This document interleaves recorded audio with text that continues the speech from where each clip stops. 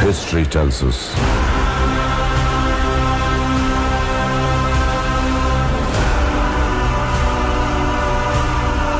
That powerful people.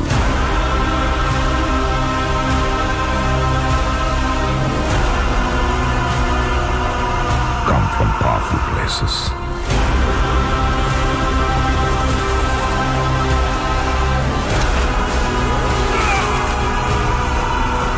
History wrong.